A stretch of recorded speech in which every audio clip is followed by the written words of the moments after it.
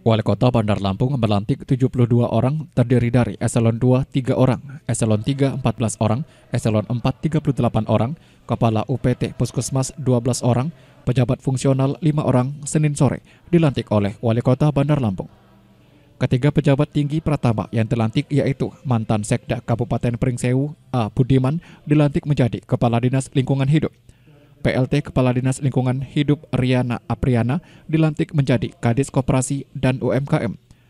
PLT Kepala Badan Pol PP Antoni Irawan dilantik menjadi Kadis Pemadam Kebakaran dan Penyelamatan yang merupakan dinas baru. Selain eselon 2, Wali Kota Eva Diana juga melantik eselon 3 yakni Sarkoni menjadi Camat Bumi Waras, Joni Efriadi Camat Kedamaian. Wali Kota Bandar Lampung Eva Diana meminta kepada pejabat yang dilantik segera menyesuaikan diri dan bekerja. Kerjanya mereka baik-baik. Nah dengan dilantiknya kembali mereka di tempat yang lama, di tempat yang baru, benar-benar kerjanya harus lebih baik lagi. Ada apa lagi? Ada berapa camat?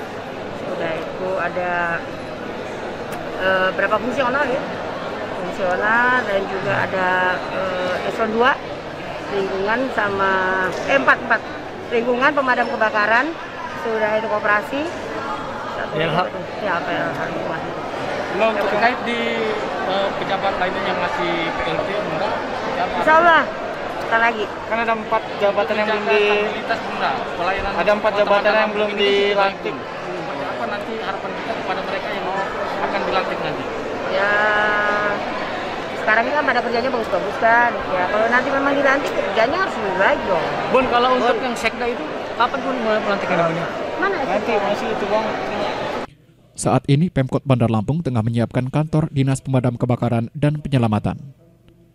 Henry Yansah melaporkan.